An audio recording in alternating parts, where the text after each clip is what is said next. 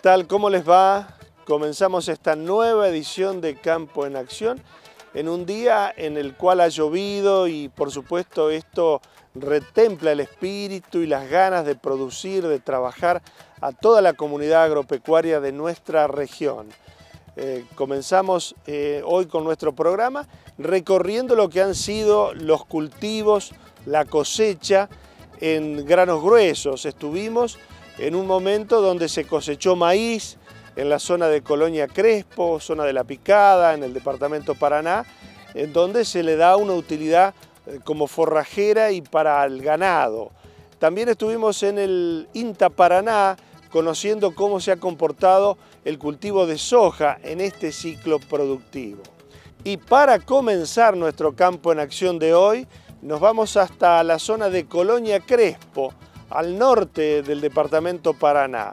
Estuvimos compartiendo con la ingeniera Viviana Grinovero el momento de la trilla del girasol. Conocimos cómo fue el comportamiento de este ciclo productivo en esta oleaginosa y también, por supuesto, la expectativa que hay en rendimientos para este año complejo desde el punto de vista productivo.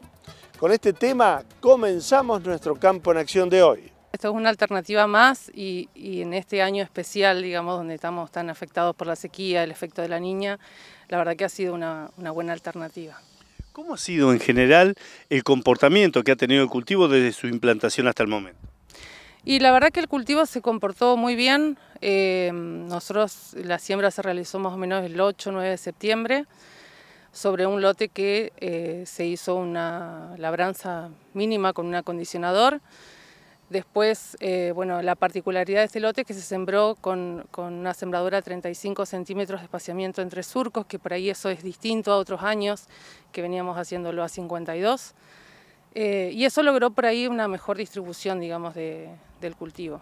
Em, después, bueno, se hizo fertilización toda la siembra con fósforo y con nitrógeno y eh, prácticamente después una vez aplicados digamos, los, herbicidas, los preemergentes, ya que bueno, fueron cloridona y ese metalocloro, después ya prácticamente casi que no volvimos a entrar, así que bueno, el lote la verdad que respondió bien. No hubo mayores sobresaltos en lo que a malezas se refiere, ¿no? No, no, en malezas no, prácticamente no.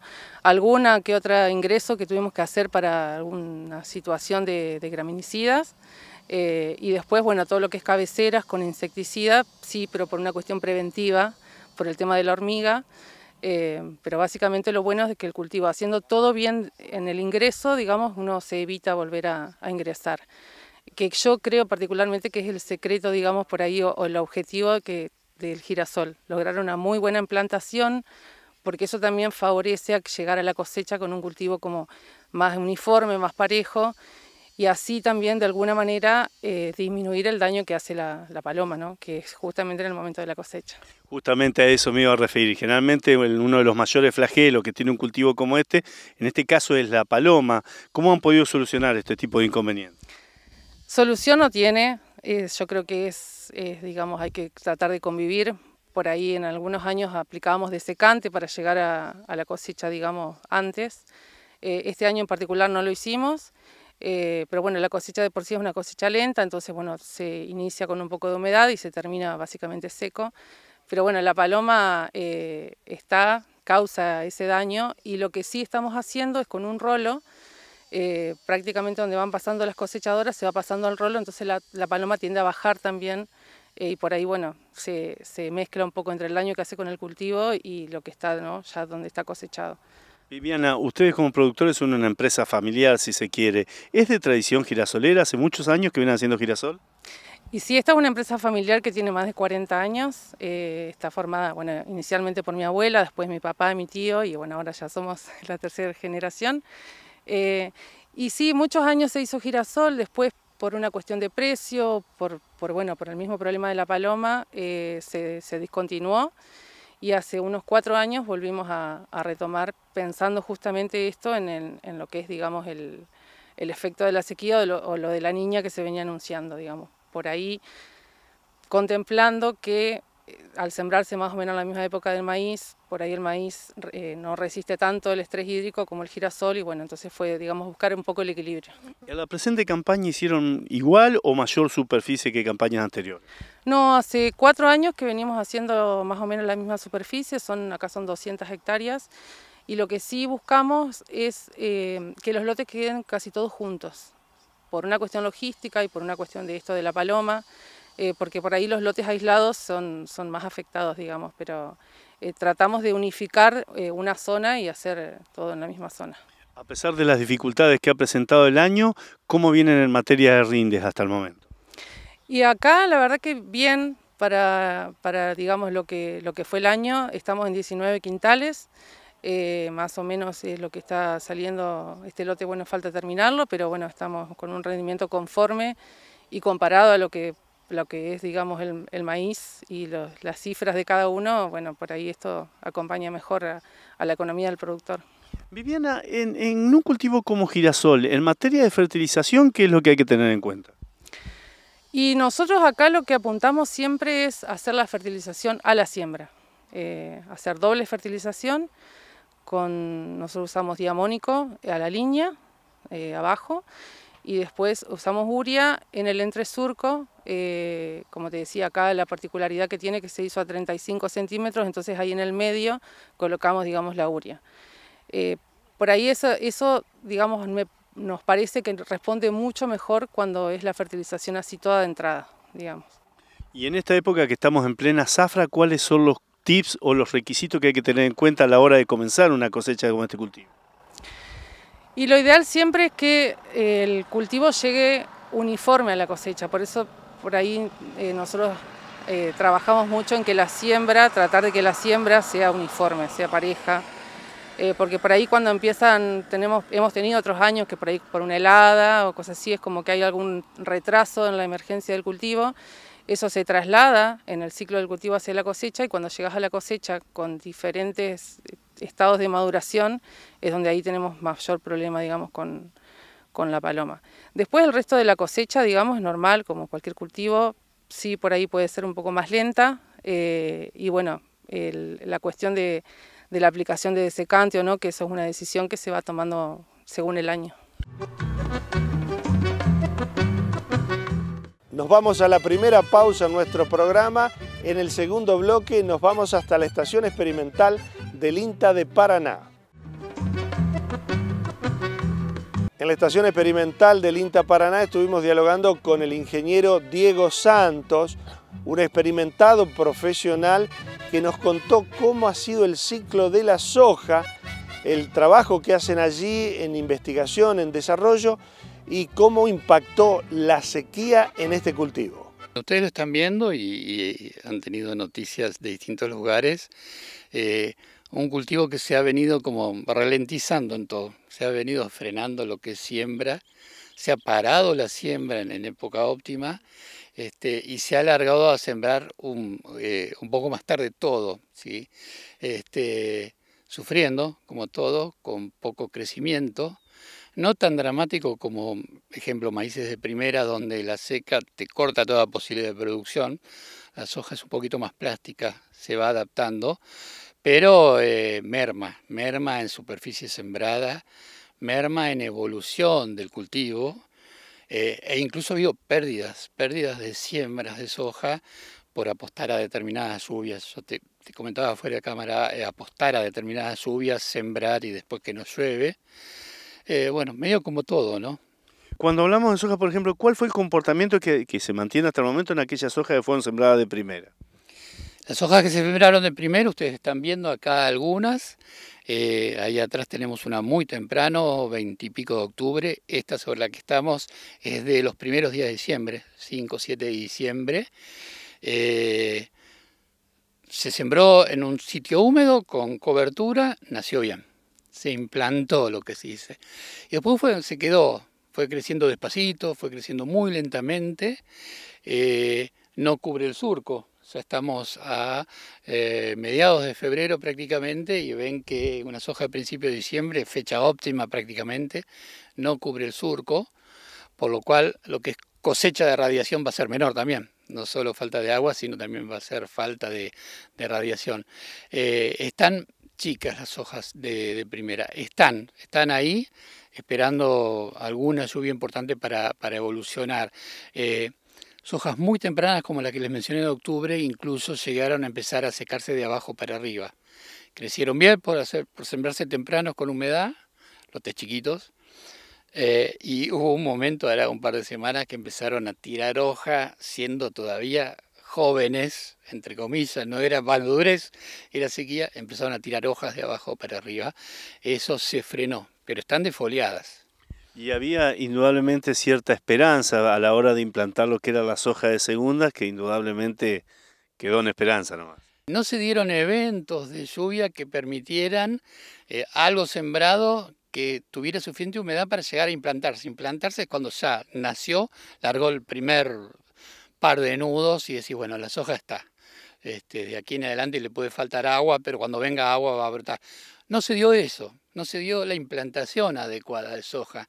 Eh, hubo lotes perdidos enteros de soja, ya te di, como te comenté recién, eh, porque el grano o por ahí se hinchó un poquito y quedó ahí y se pudrió, o directamente el grano no se embebió de agua y esta situación por la que atravesó la soja de segunda me imagino que ha dado lugar a numerosísimas consultas en cuanto a la posibilidad de una implantación ultra tardía, si queremos denominarla de alguna manera. En las últimas tres semanas, eh, cuando se empezó, hubo alguna lluvia dando vueltas o se empezó a hablar de que volvían las lluvias, empezaron a llover las consultas de colegas sobre lotes que estaban en blanco, incluso lotes en blanco que tenían algún herbicida preemergente pensando en una soja segunda y no se habían sembrado nunca, ¿qué hacer?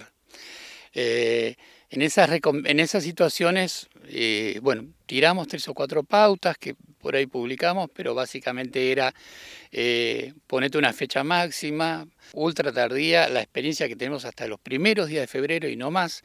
O sea que para estos momentos que estamos en esta nota, quizás ya cerró incluso la fecha de ultra tardía de soja.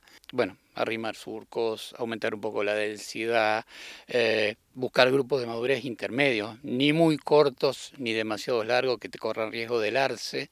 Pues hay que empezar a pensar en la helada temprana, ¿viste? ¿El tipo de suelo puede ser una referencia para este tipo de siembra? El tipo de suelo es importantísimo. El, tipo de suelo en su condición de eh, albergar o almacenar o digamos, captar cualquier lluviecita que venga es, es importante. Eh, incluso la cobertura del suelo es importante. Si son lotes que están con una cobertura bastante pareja, seca, eh, porque no, es un rastrojo de cultivo anterior, esos son los lotes ideales para eh, capitalizar cualquier milímetro que caiga. ¿no? esas son las mejores situaciones. De todas maneras, estamos hablando de una soja de techo bajo, de un techo de rendimiento muy bajo, 1000, 1200 kilos. Y ahí entra lo empresarial, el productor ver si tiene la semilla, si tiene el herbicida aplicado para soja, si tiene que o no pagar alquiler, bueno, mil factores que tienen que ver, que son los que terminan de poner el moño a la decisión de sembrar o dejarlo como está. Justamente lo destacaba usted en algún momento de la charla, a medida que se retrasa la siembra de la fecha de siembra, indudablemente la merma en kilos de rendimiento afecta muchísimo. Es total. Eh, trabajos hechos en esta misma unidad por Hugo Pelzer, eh, lo acompañé yo en los últimos años que él estuvo antes de jubilarse, hablan de caídas de rendimientos muy fuertes. A partir de 20 de diciembre en adelante, cada día de atraso son alrededor de 90 kilos menos de rendimiento. El tema es cuando cruzás 25 de enero, ya te vas a fin de enero y principio de febrero, entran a jugar otros factores que no es solo bajo techo de producción, sino, por decirte algo, enfermedades foliares. O sea, que agarre el otoño, eh, la humedad de las mañanas a una soja chiquita en vegetativo y te tengas oidio, que es una enfermedad poco común en soja, se da en esta soja ultra tardía, ¿no? Varias cositas que hay que tener en cuenta. Ingeniero Santo, esta falta de agua, ¿se puede compensar de alguna u otra forma con un manejo nutricional o es indistinto? Lo que se refiere a eso, yo digo es que eh, un manejo nutricional adecuado, especialmente por el lado de fósforo, potasio cuando haga falta, pero principalmente fósforo, que muchos suelos deficitarios, va a asegurarnos usar bien el, el poco milimetraje que caiga. O sea, eh, un cultivo nutrido va a ser mejor uso de la, de la poca agua o del poco agua que caiga eh, eh, cuando esté ese agua. ¿sí? O sea, no se suple el agua con nutrientes, pero teniendo la nutrición, claro, teniendo la nutrición, especialmente el lado del fósforo, potasio, te aseguras de que la planta cuando recibe ese agua la va a captar. Y estamos en una época del año donde se empiezan a ver las apariciones de plaga. Ante una situación de sequía como la que estamos atravesando, ¿cuál es el panorama al respecto? En este momento, puntualmente, noticia de ayer y noticia de hoy, está empezando a ver, eh, además de lo que ya han hablado, que es el 7 de oro, que está en todos lados, que particularmente para soja no es dañino, eh, se alimenta un poco de polen, pero eh, lo que está empezando a ver es el complejo de chinches. Ha habido muy poco ISOCA, muy poca, en ese sentido, nuestra especialista Adriana Saluso mm, larga un boletín semanal hablando de eso. Ha habido muy poco presencia de lepidópteros, de orugas, pero sí estamos empezando a tener el complejo chinches, que cuando tenés una soja que ya está con alguna vaina, tenés que empezar a mirar, a mirar con un poquito más de cuidado. Nos vamos a la última pausa en nuestro programa. En el tramo final hablamos del maíz en la provincia de Entre Ríos. Y también en la zona de Colonia Crespo tuvimos oportunidad de observar la trilla de maíz. ¿Qué se hace con lo producido? Charlamos con Daniel Sangoy, que es el asesor técnico de la empresa productora. Estamos cosechando el maíz que la verdad que estará en 3.000 kilos, 3.500, pero es un lote, te diría, de los pocos que está en ese rendimiento. El grueso lo tenemos en 1.500, 1.000, desde 500 kilos para arriba, pero 1.000, 1.200 kilos te diría. Esta campaña eh, por parte de la, empresa, ¿qué, superficie se hizo de maíz? Alrededor de 200 hectáreas y bueno, después se complementó con otro cultivo gruesa como es soja, girasol y sorgo. ¿Los maíces básicamente en qué fecha de siembra? Los maíces este, en esta campaña particular se pudo sembrar en agosto, que por ahí era lo que estábamos apuntando otros años, este año se logró. Lamentablemente vino noviembre bastante seco, con alta temperatura y nos complicó, pero bueno, eh, logramos un buen stand de planta, o sea, la implantación de cultivo fue buena. Nos complicó por el momento de la floración y demás, que ya sabemos lo, que pasó. ¿Los cultivos antecesores de qué venían?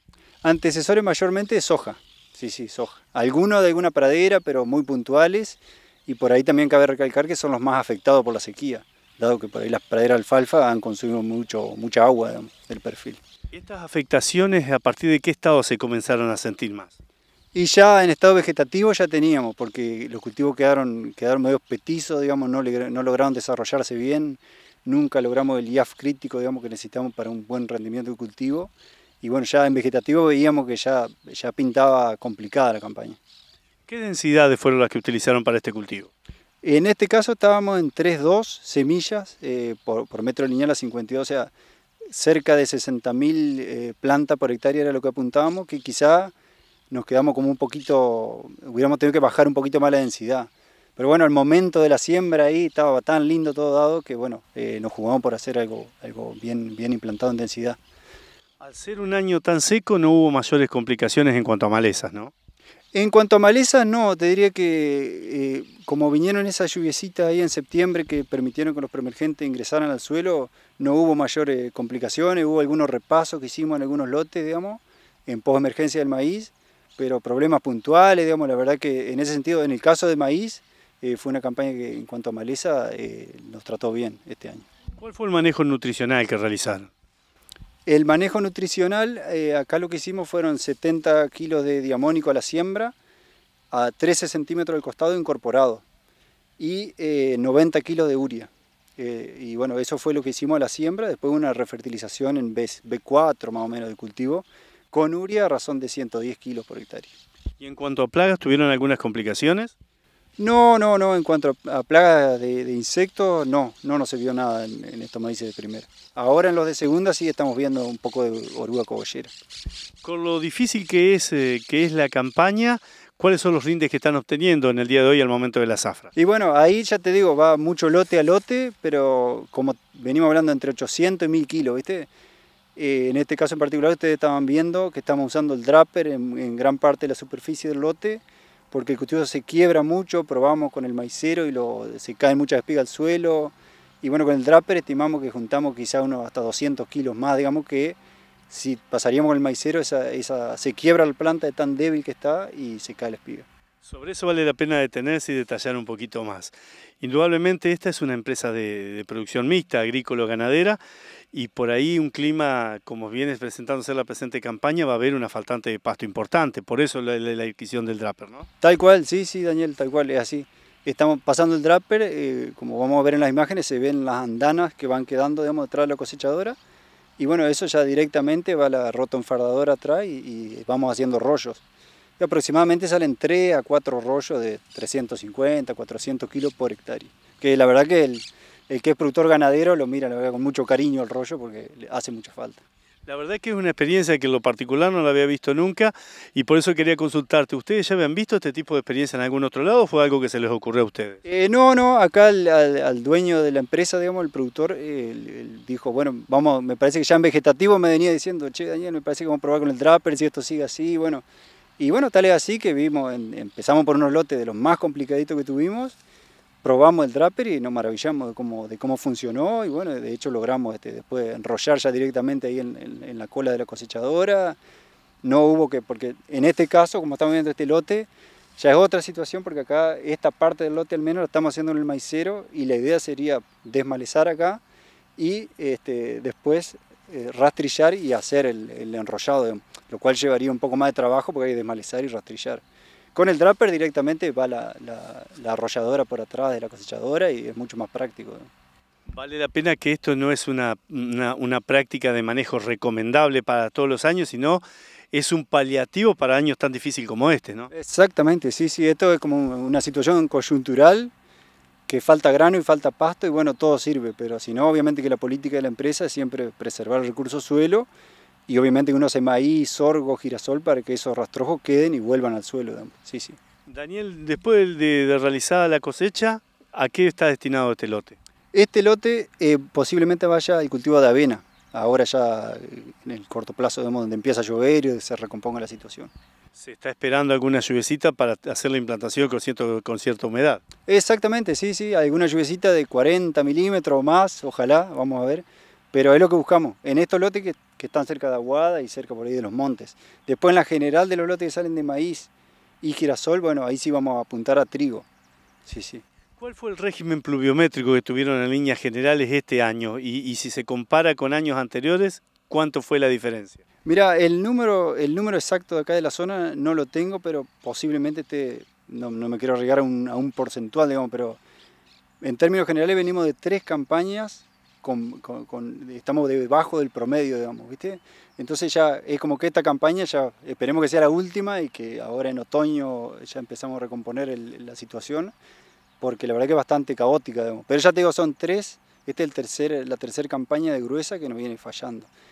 Y como te decía hoy más temprano fuera de, cámara, lo que son lagunas, tajamares, pozos de arroyo, es impresionante cómo se ha secado, digamos, cosa que nunca se había visto. Hoy los vertientes han bajado no hay agua para los animales, o sea, falta comida y agua para el tema de ganadería. Y vale la pena destacar que todos los rollos que, puedan sacar de aquí van a ir destinados a sus propios animales, no van a tener para la venta. Exactamente, no, no, en este caso va todo para, consumo propio y si esto se prolonga un poquito más, eh, no, no, sería descabellado pensar en incluso comprar de establecimientos externos eh, lo que es rollo. Llegamos al final de esta edición de Campo en Acción. Para nuestros próximos programas vamos a compartir la visión del empresario Héctor Mota acerca de la economía de nuestro país, la avicultura en Entre Ríos y lo que está haciendo este grupo empresario en la avicultura entrerriana. También seguiremos compartiendo más información sobre lo que ha sido la campaña de girasol en la provincia de Entre Ríos y las novedades que se presentan en las muestras que se realizan en nuestra provincia y también en la provincia de Santa Fe. Como siempre, les agradezco mucho que nos elijan cada semana. Nos volvemos a encontrar dentro de siete días. Por su atención, muchas gracias.